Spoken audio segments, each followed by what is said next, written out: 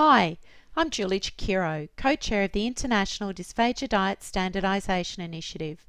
We call it IDDSI for short. I'm also the Australian IDDSI Project Officer. IDDSI is an international group that runs on a not-for-profit basis. IDDSI is run by 12 volunteers with a diverse range of clinical and technical expertise from across the globe. IDDSI receives industry sponsorship that supports the website, meetings, webinars and other running costs. Sponsors have no input into the content or running of IDDSI. This video is designed to help explain what IDDSI is and what it means for how we describe thick drinks and texture modified food in Australia. It provides video x-rays to explain why thick drinks and texture modified foods are needed for people with chewing and swallowing problems. For Australia, I'll explain two of our biggest changes, the green colour label change to be used for extremely thick drinks and why bread is no longer included on a soft diet. The IDDSI framework came together after assembling a multidisciplinary international board to examine existing national standards, a systematic review of evidence for the use of thick drinks and texture modified food, and input from more than 3,000 people from 57 countries around the world. IDDSI is a global standardized framework that provides terminology and definitions for texture modified food and thick drinks. There are eight levels from 0 to 7 to help describe a change in food and drink textures. You'll notice at level 3 and level 4 there is one colour and one number, but different labels for the foods and drinks. The foods and drinks at level 3 share the same texture qualities, and the same is true for level 4. That's why they share the same colour and the same number. But just because a person needs moderately thick drinks doesn't mean they'll need liquidised food. Please ask your speech pathologist for more information. The speech pathologist will work out the food level and drink level that's safe for people with chewing and swallowing difficulties. A dietitian will work out what foods and drinks are needed to meet the person's nutrition and hydration needs. The IDDSI framework is used for people of all ages, in all settings and all cultures. It's a colour-coded model where the colours have been specially chosen to make sure that people with colour blindness can use them. The labels have been chosen to be culturally neutral to make them easier for translation into languages other than English. You can describe the levels by using labels, colours and the number. IDDSI recommends that you use at least two of the three ways of describing the levels for safety. In 2016, the IDDSI framework was formally endorsed by the Dietitians Association of Australia, Speech Pathology Australia and the Institute of Hospitality and Healthcare, with implementation on 1 May 2019. Adoption of the IDDSI framework is voluntary, just as the adoption of the national terminology in 2007 has been voluntary. Implementation has been supported by the Australian IDDSI Steering Committee convened at the end of 2016. It included representation from IDDSI International, the Dietitians Association of Australia, Speech Pathology Australia and the Institute of Hospitality and Healthcare, and industry representation from Flavour Creations, Precise Thicken and Nestle Health Science. So why are we changing from national terminology to international terminology? Well, the Australian terminology, published in 2007, is now more than 10 years old. And we also have a lot of new information about the number of food texture levels and drink thickness levels that clinicians use. And we also needed a way to test the thick drinks and texture modified foods that's easily accessible rather than just testing that's found in laboratories. There's a lot of confusion when we just use descriptions of foods or drinks. When I say soft, what does that mean to you? When you say thick, how thick do you mean? You can see that it can be a bit confusing. IDDSI uses measurements that are designed to minimise the need for personal subjective judgment. The tests are quick, easy and reliable and can all be done in 10 seconds or less. And while it's possible to perform these tests at any time, they won't be needed every time. IDDSI testing is most helpful when you're learning about the framework, when you're doing spot checks like auditing, or when you're training new people or developing new recipes. Let's start with the drinks. Why do we need thick drinks? When we swallow, it moves quickly through our mouth and down our throat. In fact, it happens so quickly we don't even think about it. If we look at this x-ray video, we can see there's a lot of drink sitting in the throat. And then all of a sudden we notice a bit trickle down and it goes into the airway. That leads down into the lungs. And then the person starts coughing. Even though there's coughing, there's still drink that's going down the wrong way into their lungs. If we watch the second video, we can see that this person's also having trouble with their drink. A lot of it is in their throat, and we can't see that without the help of the x-ray. Notice that some of the drink also goes down the wrong way, but this time there's no coughing. Sometimes people don't cough when it goes down the wrong way. This is called silent aspiration. In Australia, speech pathologists diagnose and manage swallowing problems. We know that when we make drinks thicker, they flow more slowly and seem to hold together a bit better to allow better control. There are different levels of drink thickness. Some people only need their drinks a bit thicker to manage it safely and swallow everything so it goes to their stomach, while others need their drinks to be quite a bit thicker. Here we show the changes for Australia for the colours, the labels and the numbers. You can see we have a change to our numbering system, so it's a 0, 1, 2, 3, 4. Our labels essentially stay the same. And now we have slightly thick, mildly thick, moderately thick and extremely thick. Slightly thick is a new level. It's been used for many years by clinicians who treat babies so that it's a thickness level that will flow through an infant teat. However, slightly thick liquids has also been used for adults, most often in the palliative care setting you'll notice that we have a change to the colour. Especially note the change to extremely thick, that it is a green colour. The colour changes have come about so that we can make the colours used for IDDSI accessible for people with kinds of colour blindness. IDDSI uses the IDDSI flow test. The flow test was designed to test liquids the way they move when they're swallowed. You use a 10 milliliter syringe to do the testing. It's important to make sure that you have the right syringe. You can check this really easily. Measure from the 0 to the 10 milliliter line with a ruler. That measurement should be 61.5 millimeters. If you've got that, you've got the syringe and you're ready to start testing. And testing is very simple. Remove the plunger from the syringe and put your finger over the base of the syringe. Add 10 milliliters, making sure to measure it carefully. Once you're ready, start a timer and let the liquid flow for 10 seconds. At the end of 10 seconds, put your finger back over the end of the nozzle and measure how much is left. For slightly thick fluids, we'll have between 1 and 4 millilitres remaining.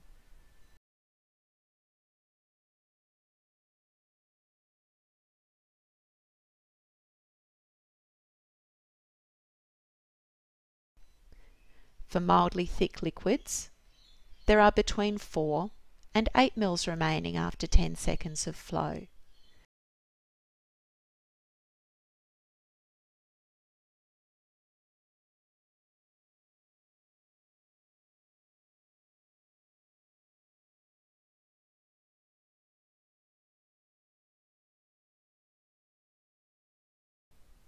And for moderately thick drinks and liquidized food, there is between 8 and 10 millilitres remaining after 10 seconds of flow.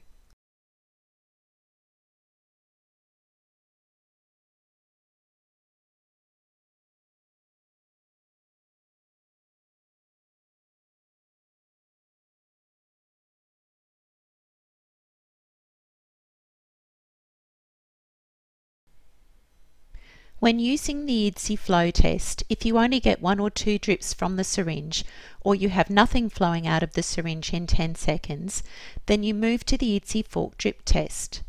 Take a cup of the liquid and lift a dinner fork through it. If it dollops, flows, or drips continuously through the fork, it is a level 3 moderately thick drink or liquidized food. If the sample can be scooped up and has a mound above the fork and a small tail below so that you could eat it with a fork, it is a level 4 extremely thick drink or level 4 pureed food. Level 4 extremely thick drinks and pureed food are smooth without lumps. They don't require any chewing. You should just be able to put them straight into your mouth and swallow them down. Again, you'll notice that there is the same number and colour but two different labels here. And just because someone's on an extremely thick drink doesn't mean they'll need pureed food. Please check with the speech pathologist. In addition to the fork drip test, we need to make sure that food's not sticky. Sticky foods have been shown to be a choking risk on autopsy reports. We can check whether the food is sticky by using a teaspoon in the IDDSI spoon tilt test. Take a spoonful of puree or extremely thick food and tilt the spoon on its side. It should either slide straight off or slide off without a, with a slight flick of your wrist. Look at the top image of the thick Greek yogurt and notice how it comes off the teaspoon. While there's a small amount of residue on the teaspoon, we can still see the majority of the teaspoon through the residue. See how different the sample on the bottom is. This is peanut butter. The spoon could be turned completely upside down and the peanut butter will still stick to the spoon. Even after a lot of flicking of the wrist, the spoon still has a lot of residue. This is too sticky and poses a choking risk. It could get stuck to the roof of the mouth, the teeth, or the cheeks and fall down into the airway when the person takes a breath, talks, laughs, or changes position. All foods for people with chewing and swallowing problems need to be moist and they should not be sticky. Here's an example of the spoon tilt test in action. Notice how the first two examples come easily off the spoon.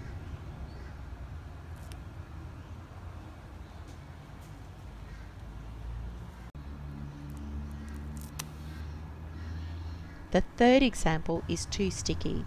It takes a lot of wrist movement to dislodge the sample. This would be an unsafe texture for someone with chewing and swallowing problems. Let's have a look at the names we've been using in Australia for texture modified foods and what they're called in the IDDSI framework. We can see there's a new liquidized level at level 3 and then we have level 4 pureed, level 5 minced and moist, level 6 soft and bite-sized, level 7 easy to chew, and level 7 regular. We move away from letters, like texture A, to numbers, and there's a new texture level called transitional foods that I'll tell you about in a moment. So why do we need all of these different food textures?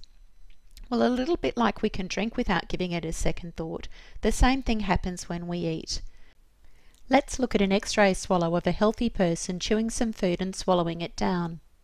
Notice how quickly their chewing is, how well they open and close their jaw, and the food is all collected into a ball and it's swallowed down very quickly.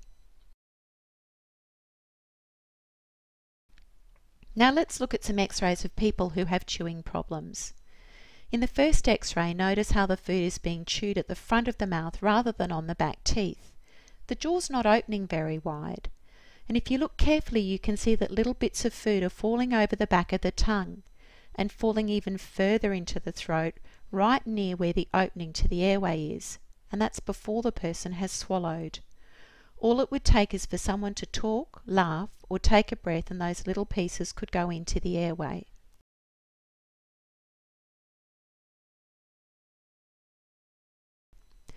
Now let's have a look at the second video.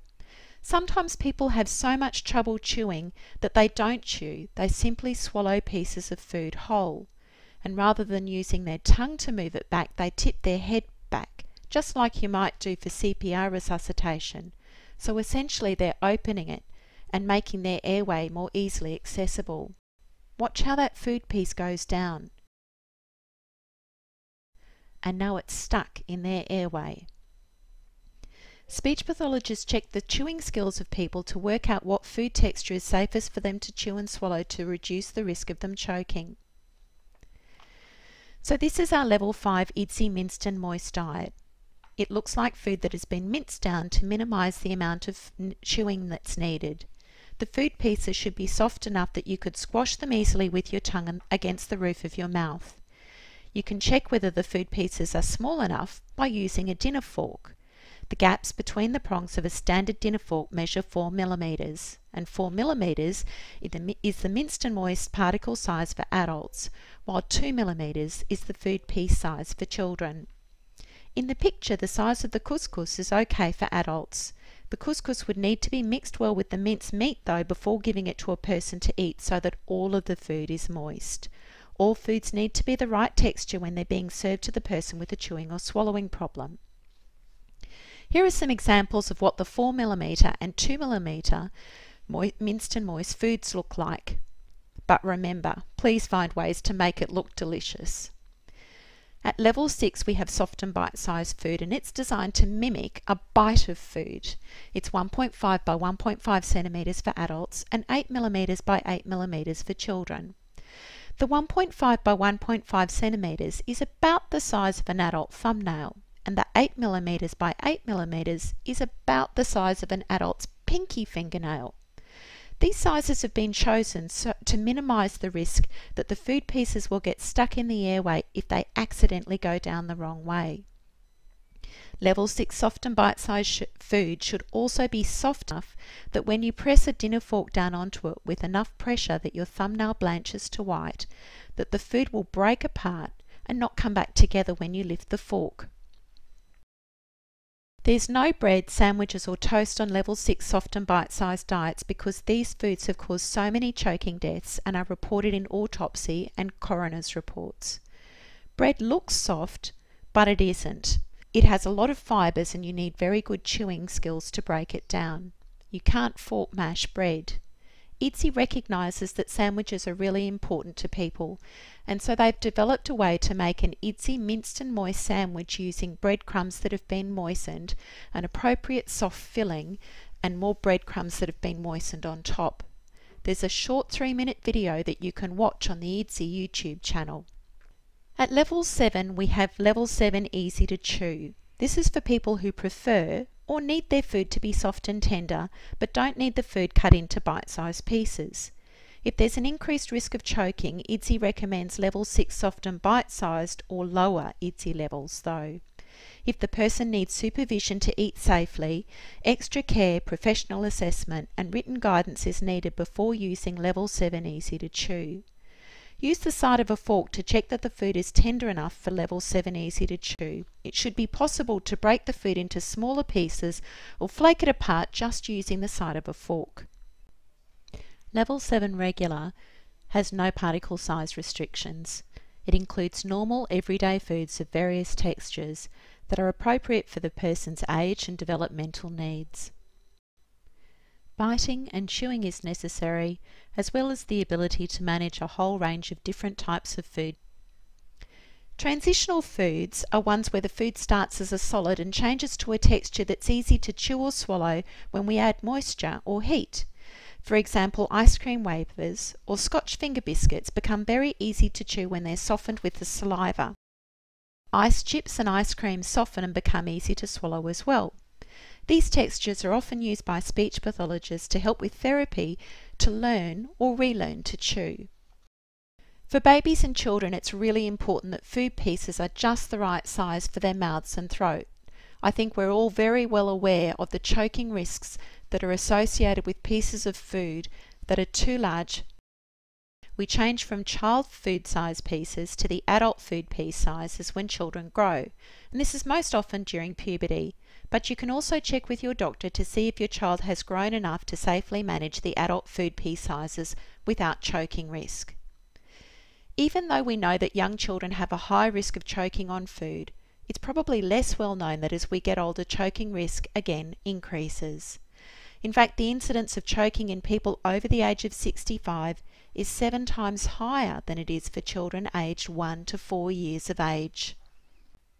Things that increase choking risk include swallowing problems, missing teeth, and eating and drinking behaviours like eating too quickly, overfilling the mouth, or swallowing without chewing food properly.